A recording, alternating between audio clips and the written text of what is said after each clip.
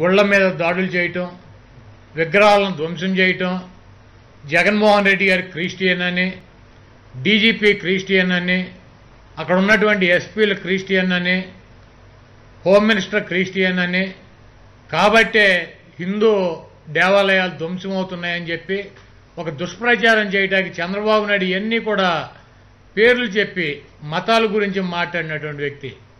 ఆ తర్వాత కులాల గొడవలు ఒక జిల్లాకి అంబేద్కర్ పేరు పెడితే ఆయన పేరు వద్దని చెప్పి ఒక దళిత మంత్రి ఒక బలహీన వర్గాల శాసనసభ్యుడు ఇళ్ళ మీద దాడి చేసి తగలబెడతాం ఇటువంటి కార్యక్రమాలు కులాల మధ్య స్విచ్ పెడతా చూశారు మతాల మధ్య స్విచ్ పెడతా చూశారు దేవుళ్ళని అడ్డం పెట్టుకుని రాజకీయం చేయటానికి చూశారు. ఈ రకంగా అనేక రకాలైనటువంటి కార్యక్రమాలు చేస్తూ ఆయనకున్నటువంటి ఈ దొంగ మీడియా టీవీ ఫైవ్ కావచ్చు ఏబిఎన్ కావచ్చు ఈటీవీలో అసత్య ప్రచారాలు ప్రచారాలు చేస్తూ చాలా గొప్పగా ప్రజలు నమ్మించాలని చెప్పి ప్రయత్నం చేశారు.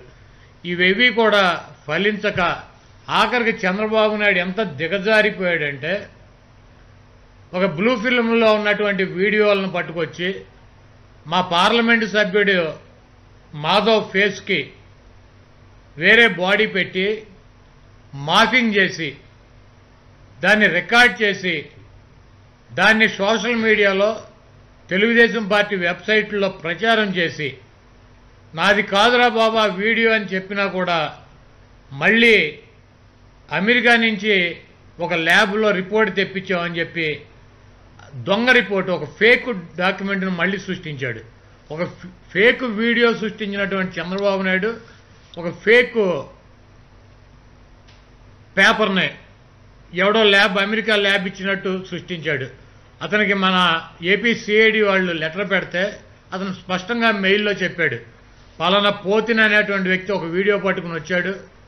దాన్ని మేము పరిశీలించి ఇది కాపీడ్ వీడియో దీనికి స్పష్టమైనటువంటి ఆధారాలు చెప్పలేం. కాకపోతే ఈ వీడియో ఎక్కడ కూడా కట్ అవ్వలేదు. దీన్ని ఎడిటింగ్ చేయలేదని అంతవరకు ఇస్తాం. ఈ వీడియో వరకు ఇది డూప్లికేట్ వీడియో. ఒరిజినల్ వీడియో అయితేనే ఏమన్నా మార్కింగ్ జరిగిందా ఎడిటింగ్ జరిగిందా చెప్పగలనని చెప్పి నేను ఆ రిపోర్ట్ ఇస్తానంటే కాదని నా మీద ఒత్తిడి తీసుకొచ్చారు.